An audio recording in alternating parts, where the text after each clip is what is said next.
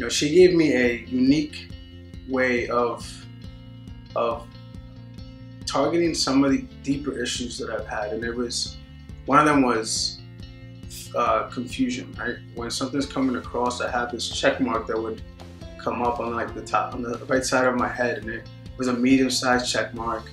She helped me identify what color it was too, and then she told me, "Let's put it in a mason jar and let's toss it." And I tossed it. She tossed it into the moon, and I didn't know I could throw that far, but it was gone. It was there, and we had such an amazing moment just doing that part there. And then she told me what's something that I can that I can look forward to down the road. And when I have clarity, what does it look like? And I told her it looks like an open road, and the visibility is for miles.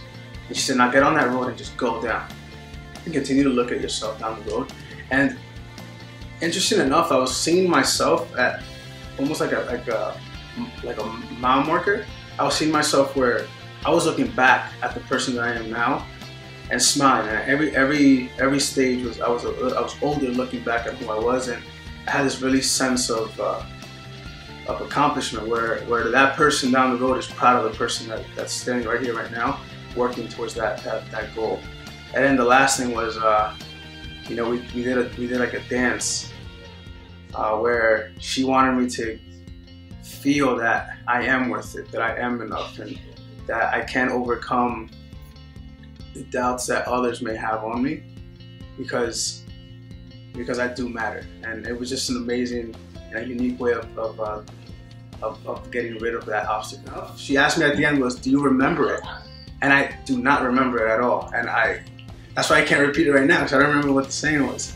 Uh, but that's a beautiful thing that I'm able to that I was able to get over that thanks to her and just completely forget about what it was that was you know, preventing me from getting or having those thoughts of, of succeeding. So thank you so much. Diane, I just want to thank you so much. I mean, you really, really, in a unique way, showed me how great I can be and will be, and how great I am right now.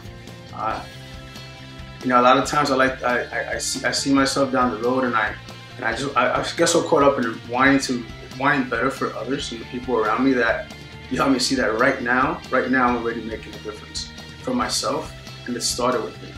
And that's why I'm able to do the things that I've done and just to overcome it in, the, in, in that, in that in such a way that it was fun. I felt, you know, with dancing, it was such a great time and I'm so grateful to you and thank you so much. Uh, we went through my future, my goals, what I aspire to be and how I can get there.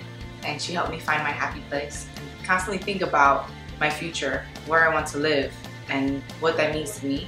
So now I can visualize it, and all I have to do is visualize that as much as I can. And the more I do that, the easier it'll be for me to get there. Thank you, Diane, for helping me visualize and just have that constant reminder that I can be happy and I will be happy.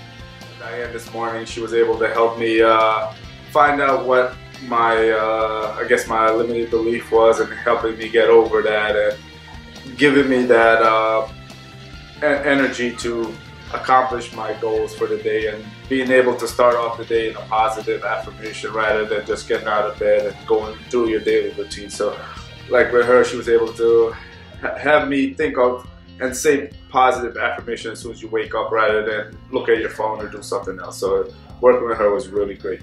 Diane, thank you very much. Uh, it was an amazing experience. You really helped me a lot. I just want to say thank you. Thank you very much.